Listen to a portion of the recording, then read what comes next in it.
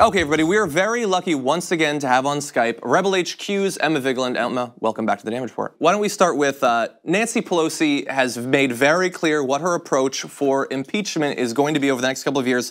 She said, I'm not for impeachment. Impeachment is so divisive to the country that unless there's something so compelling and overwhelming and bipartisan, I don't think we should go down that path because it divides the country and he's just not worth it. Uh, is he worth it?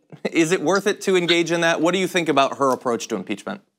I mean, I think that this is typical of the Democrats and typical of her leadership style. It's a little bit frustrating uh, because obviously, if he's committed crimes, he should be impeached. The, the Republicans would not give us the same courtesy if we mm-hmm. had President, you know, Kirsten Gillibrand, who had committed a felony or something like that. So I just don't understand that kind of mentality where you're going to throw down your arms and not even fight and say we're going to unilaterally disarm before you even know if there's a reason to disarm. Yeah, it just it seems like unless they're backed into a corner where the only option is to fight, if there's an excuse where they can say, ah, we're just going to let bygones be bygones, it seems too easy for them to do that. And so, look, uh, her fear appears to be that if we were to approach impeaching Donald Trump, uh, that might rally some of his supporters to his side. It might make it harder for us in the 2020 election. I mean, what, what do you think the approach should be in evaluating whether we should pursue this or not? How much of it should be sort of a political, pragmatic thing, and how much should it, should it be a, you know, fulfilling the what is laid out in the Constitution sort of approach?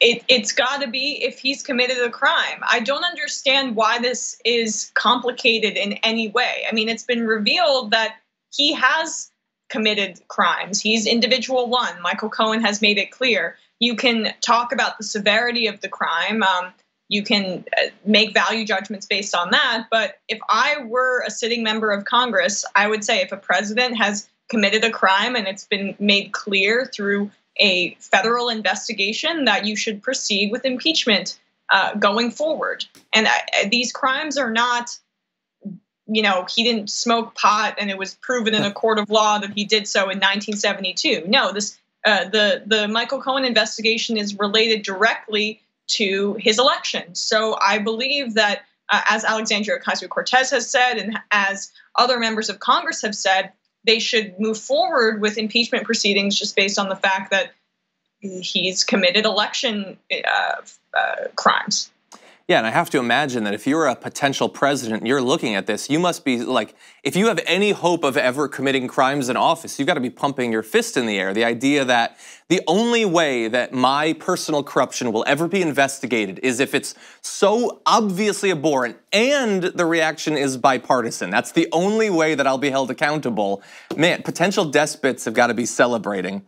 Right, and it sends it sends a message. Just sorry, one more point that uh, our justice system is as rigged and tiered as a lot of people think. That the people at the very top don't have any consequences when they commit crimes, but God forbid you have a dime bag of weed on a corner and you're black, and uh, then you'll be going to prison. Thank you very much for watching this clip from the Damage Report.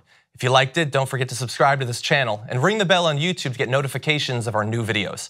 And of course, you can catch the full Damage Report live every weekday at 1 p.m. Eastern, 10 a.m. Pacific on TYT Network on YouTube TV.